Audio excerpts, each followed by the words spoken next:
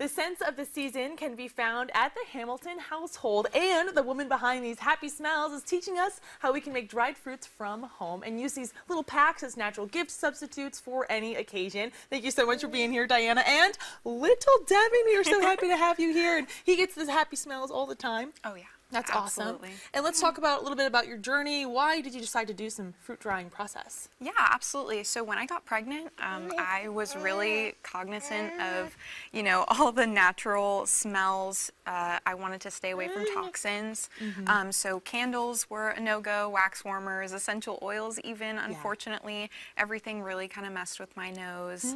Um, but then I discovered uh, simmer pots and I started making them, and it makes my house smell really good without all the nat or the you know toxins and mm-hmm. all that mm. stuff. So So when you're talking about the dehydration process, how long does it take from, you know, start to finish? yeah, absolutely. So we start usually by taking an orange or an apple or a pumpkin, and we run it through the mandolin. Mm-hmm. So we make pretty thin slices, um, so it doesn't take as long. So then I put them in the dehydrator.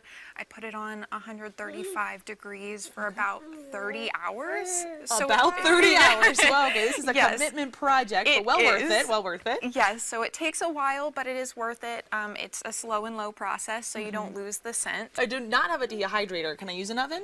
You can, absolutely. So you can put it on the lowest setting you have possible. So a lot of ovens, that's 175 degrees. Mm-hmm. Um, you can use that, or um, in the summertime, you can uh, dry them outside. So this 30 plus hours. Oh my goodness. And you're making, we also have some cinnamon. And what's on the bottom here? So those are cloves. So this is my Ah. particular um, orange cinnamon scent. So I have the dehydrated orange, um, cinnamon, and cloves, and that's it. Wow. Yes. And it smells amazing just from here. So from the bagging process to the final product here, we have some really popular scents. Talk to me, what do people do with these and how can I really fill my home with the amazing aura? Yeah, scents? absolutely. So um, I have these packs available. I have three scents currently.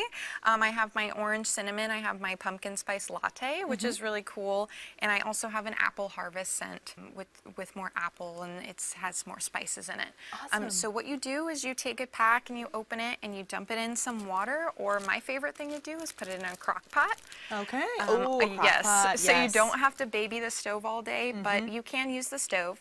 Um, and then you keep adding water and you boil it, and the house just smells amazing. Fantastic. Yeah. Great for just little gifts as far as maybe like housewarming for new neighbors, Mm-hmm. in a stocking for loved ones, or just a little gift for yourself. Exactly. That's awesome. Well, where can we go for more information to learn more about your journey and how we can support you? Yeah, absolutely. So I do have an Instagram and Facebook um, at the.hamiltonhousehold, and I sell them on Etsy, which is etsy.com slash shop slash the Hamilton household. Okay, Diana and Devin, thank you so much for sharing more about fruit drying. Guys, I hope you learned a little something and have some sweet smells along the way.